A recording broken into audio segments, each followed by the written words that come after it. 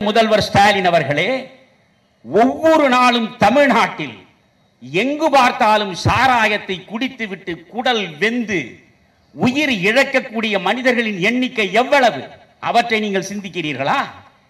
அவர்களுக்காக கண்ணீர் விடுகிறீர்களா?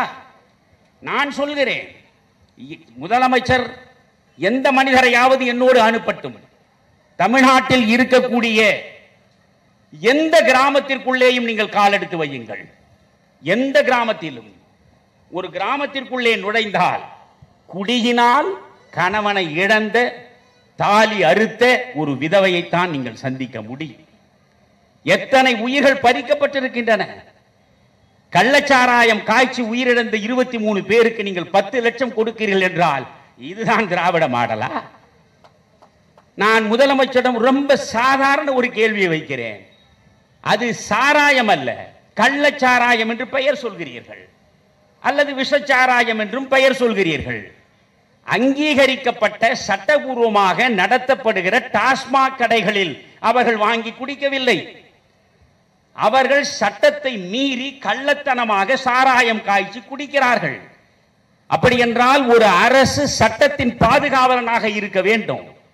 சட்டத்தின் பாதுகாவலனாக இருக்க வேண்டிய அரசு சட்டத்தை மீறி சட்டத்திற்கு எதிராக கள்ளச்சாராயம் குடித்துவிட்டு இறந்தால் ஒவ்வொருவருக்கும் பத்து லட்சம் ரூபாய் கொடுக்கிறீர்கள் என்றால் உங்களுக்கு அப்படிப்பட்ட அரிய ஆலோசனையை அள்ளி வழங்கிய அறிஞர் பிரான் யார் என்று எனக்கு புரியவே இல்லை. கள்ளச்சாராயம் காய்ச்சி குடித்தவனுக்கு பத்து லட்சம் ரூபாய். அறிவாலயத்திலே இருந்தால் நீங்கள் அள்ளி வழங்குகிறீர்கள். உங்கள் சொந்த பணத்தில் இருந்தால் நீங்கள் அவர்களுக்கு கொண்டு போய் கொடுக்கிறீர்கள். மக்களுடைய வரிப்பணம் மக்களுடைய வரிப்பணம் தான் இப்படி தாறுமாறாக செலவழிக்கப்படுகிறது. எனவே இவற்றையெல்லாம் யோசிக்க வேண்டும். எந்த விதமான நல்ல திட்டங்களையும் இந்த திராவிட மாடல் ஆட்சியிடமிருந்து நாம் எதிர்பார்க்க முடியாது. இரண்டு ஆண்டுகளிலேயே இவருடைய சாயம் முழுவதுமாக வெளுத்து விட்டது. கலைஞர் எழுதிய ரோமாபுரி பாண்டியனை எத்தனை பேர் படித்திருக்கிறார் கலைஞர் எழுதிய சங்கத்தமிழை எத்தனை பேர் படித்திருக்கிறார் கலைஞர் எழுதிய கடிதங்கள் அனைத்தும் புத்தகங்களாக வெளியே வந்திருக்கின்றனவே. அவற்றை எத்தனைவே படித்திருக்கிறார்? ஆனால் கலைஞர் கொண்டு வந்த மதுவினை இந்த தமிழ்நாடு ஒட்டுமொத்தமாகவே சீரழிந்து பாதிக்கப்பட்டிருக்கிறது என்றால் உங்கள் எழுத்து பாதித்ததை விட நீங்கள் கொண்டு வந்த மது பாதித்தது அதிகம் என்கிற பொழுது நீங்கள் பேனாவுக்கு பதிலாக ஒரு மது கோப்பையை தான் நீங்கள் நினைவு சின்னமாக வைக்க வேண்டும். நீங்கள் மது கோப்பையை நினைவு சின்னமாக வையுங்கள். முதல்வர் ஸ்டாலின் அவர்களே அதுதான் இந்த சமூகத்தின் தலைமுறை தலைமுறையாக வரக்கூடிய மக்களுக்கு இந்த கலைஞரின் மூலமாகத்தான் மதுவின் வாசமே அறியாத இந்த தமிழ் சமூகம். முதன் முதலில் மது என்றால் எப்படி இருக்கும்? அது எந்த நிறத்தில் இருக்கும்? அது எந்த மயக்கத்தை தரும்? என்பதையெல்லாம் தமிழ்நாட்டில் அறிமுகப்படுத்திய அந்த மனிதர்தான் கலைஞர் அவர்கள். எனவே கலைஞர் அன்று தொடங்கியது இன்றைக்கு அவருடைய திருமகன் ஸ்டாலின் மூலமாக இன்னும் விரிவடைந்திருக்கிறது. ஒரு ரூபாய்க்கு மூன்று படி அரிசி கொடுப்பேன் கொடுக்க தவறினால் சவுக்கால் என்னை அடியுங்கள் என்று பேசியவர் அண்ணா. ஆட்சியை பிடித்தார்கள். ஒரு ரூபாய்க்கு மூன்று படி அரிசியை கொடுப்பேன் என்று அவர் சொன்ன பொழுதே தினமணியின் ஆசிரியராக இருந்த ஏ என் சிவராமன் இன்றைக்கு இருக்கக்கூடிய ஊடகங்கள் எல்லாம் அவர் எழுதிய எழுத்துக்களை உட்கார்ந்து படிக்க வேண்டும். பத்திரிகையாளர்கள் படிக்க வேண்டும். மிகப்பெரிய தேசியவாதி மிகப்பெரிய சுதந்திர போராட்ட வீரர் மிகப்பெரிய தன்னலமற்ற தியாகி பெருந்தலைவர் காமராஜருக்கு இணையாக அமர்ந்து ஆலோசனை வழங்கக்கூடியவர். அந்த ஏஎன் சிவராமன் தினமணியில் உடனே ஒரு கட்டுரை எழுதினார். ஒரு ரூபாயில் ஒரு படி அரிசி கூட உங்களால் போட முடியாது. அந்த வேளாண்மை விவரங்கள் அத்தனையையும் வெளிப்படுத்தி இயலாத ஒன்றை சொல்லி மக்களை ஏமாற்றாதீர்கள் என்றார். ஒரு ரூபாயில் ஒரு படி அரிசி போட முடியாது என்றார். ஆனால் மூன்று படி அரிசி நிச்சயம் போடுவோம் என்று அண்ணா சொன்னார். உடனே மக்கள் அனைவரும் ஏமாறக்கூடிய நிலைக்கு உட்படுகிற நிலை வந்து சேர்ந்தது. மேடை தோறும் திமுகவினர் முழங்கினார்கள். படிக்காத காமராஜரே இத்தனை திட்டங்களை கொண்டு வருகிற பொழுது எம்ஏ படித்த அண்ணா அவர்கள் ஆட்சி பீடத்தில் வந்தால் எவ்வளவு அரிய திட்டங்களை எல்லாம் கொண்டு வந்து சேர்ப்பார் என்று சொன்னார்கள். மக்கள் நம்பினார்கள். ஆட்சி கிடைத்தது. பிறகுதான் அவருக்கு உண்மை புரிந்தது. மூன்று படி அரிசி போட முடியாது என்பது தெளிவாக தெரிந்தது. நிதி நிலையை அவர் அறிந்து கொண்ட பிறகு அதிகாரிகளை அழைத்து பேசினார். அதிகாரிகள் சொன்னார்கள் நீங்கள் சொன்ன வாக்குறுதியை மக்கள் சந்- நிறைவேற்ற வேண்டும் என்றால் நீங்கள் மதுக்கடைகளை திறப்பதை தவிர வேறு வழி கிடையாது என்றார். அப்பொழுதுதான் அண்ணா சொன்னார் உண்மையில் நான் அண்ணாவை ஆராதிக்கிறேன். ஒரு தலைமுறையே சாராயத்தின் வாசம் என்ன என்று தெரியாத சமூகமாக மாறி இருக்கிறது இந்த தமிழ் சமூகத்தில் நான் வந்து சாராயத்தை கொண்டு வந்த பாவத்திற்குரியவனாக ஒருபோதும் இருக்க மாட்டேன்.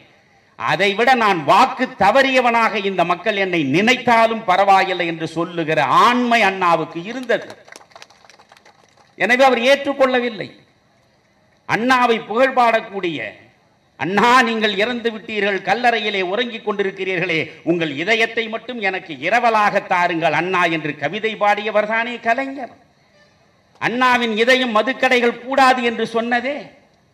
ஆனால் கலைஞர் என்ன செய்தார்? ஆயிரத்தி தொள்ளாயிரத்தி எழுபத்தி ஒன்னில் அவர் மீண்டும் ஆட்சிக்கு வந்த பிறகு இந்த மதுக்கடைகளை கொண்டு வரும் முயற்சியில் ஈடுபட்டார். கடைகள் திறக்கப்பட்டன. கேட்டால் சொன்னார் ஏழை எளிய மக்களுக்கு ஓர் ஆயிரம் நலிவு உற்ற மக்களுக்கு நான் திட்டங்களை தீட்டுகிறேன். அதற்கு வருவாயை ஈட்ட வேண்டும். வேறு வழி இல்லை. அதனால் நான் மதுக்கடைகளை திறக்கிறேன்.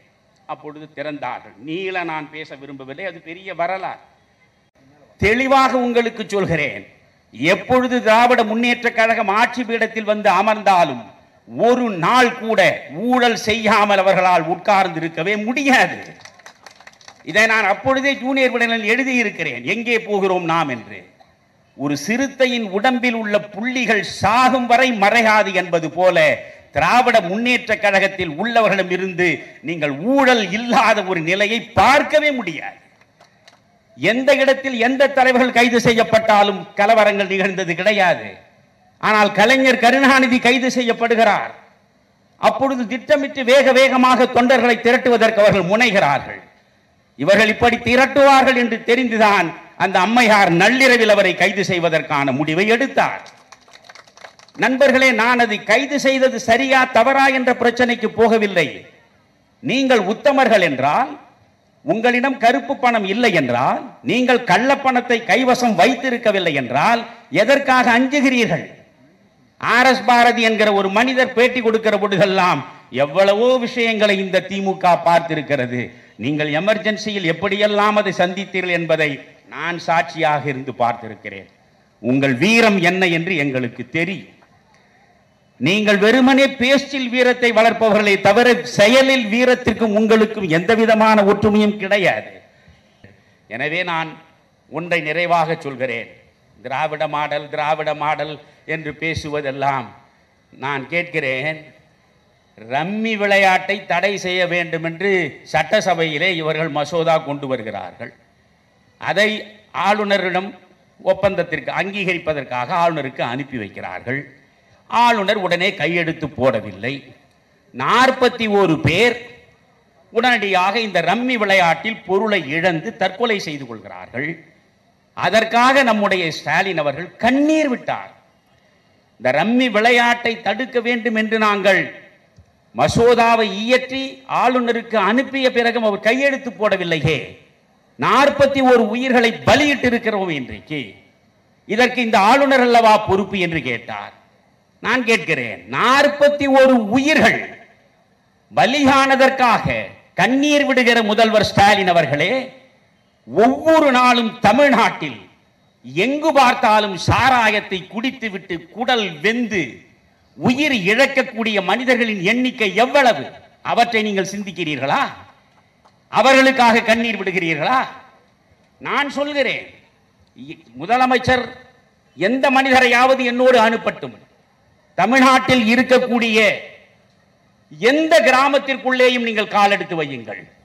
எந்த கிராமத்திலும். ஒரு கிராமத்திற்குள்ளே நுழைந்தால் குடியினால் கணவனை இழந்த தாலி அறுத்த ஒரு விதவையைத்தான் நீங்கள் சந்திக்க முடியும். அதிகாரிகளை மிரட்டுகிறீர்கள். திராவிட முன்னேற்ற கழகம் எப்பொழுது ஆட்சி நாற்காலில் வந்து அமர்ந்தாலும் காவல்துறையை அவர்கள் கடுகளவும் மதிப்பது கிடையாது.